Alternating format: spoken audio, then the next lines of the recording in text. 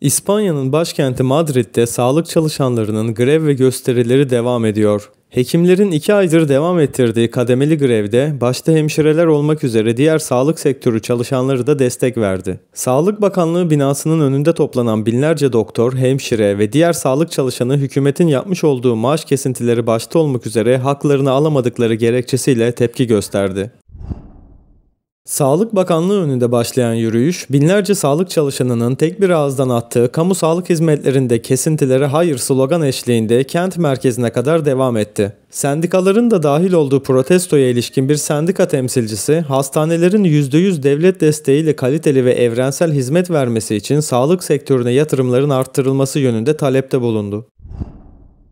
Maaşlardan kesilen tutarın azaltılması, maaş artışı, çalışma şartlarının revize edilmesi ve eksik personelin tedariki gibi taleplerde bulunan sağlık çalışanları 21 Kasım 2022'den bu yana eylem ve grevlerini sürdürüyor.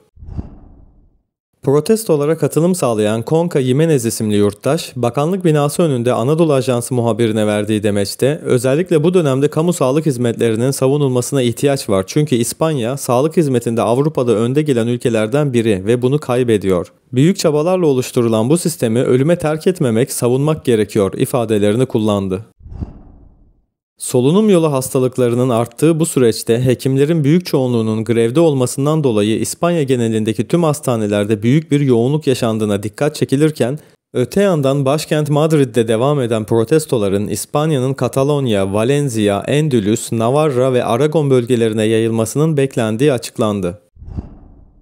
Sağlık sendikaları hastaların mağduriyetini gidermek adına ülkenin diğer bölgelerindeki grevlerin organize edileceği, tarihlerinin birbiriyle çakışmaması adına çaba sarf edileceğini açıklarken, sendika yetkilileri mağduriyetlerin tek taraflı olmadığını ifade ederek hükümeti doktor ve diğer sağlık çalışanlarının taleplerine yanıt vermeye davet etti.